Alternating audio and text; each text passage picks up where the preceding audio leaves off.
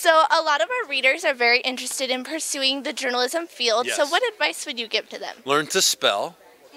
That would, well, actually, now with autocorrect, you maybe don't have to do that. Um, journalism. Read books, not Cliff Notes. Um, they have Cliff Notes still. That's an older thing. Okay, SparkNotes. Um, move to New York. That's the first thing you have to do. Tell your parents, pack a bag, and at dinner say, I'm moving to New York. I need a plane ticket. Because it is the media mecca of the world. And get an internship. I had an internship at a couple different news um, TV stations. Internships are the best way to start. So. And at what moment did you know that this was a field that you wanted to pursue? when I couldn't get any other job, I uh, was sort of left with television and media, and uh, but for me it was radio.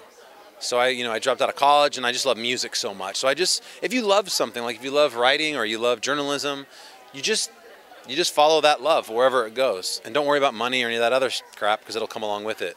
That's awesome. And do you have a favorite part of your job? Um,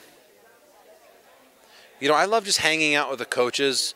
You know, after the show, we all go back. We have like this little trailer, and we all just kind of sit around and and it's like we're camping. We call it fancy camping. We have you know, and it's fun. I really like the people that I work with, and I love what I do, and that's al- always a nice thing to be able to say that you love going to work. I'm very lucky. Yeah. And we're a very teen centric site. Yes, so, could we get a selfie with you? Yes, of course. I feel like selfies are inevitable. I know, but I'm so teen centric.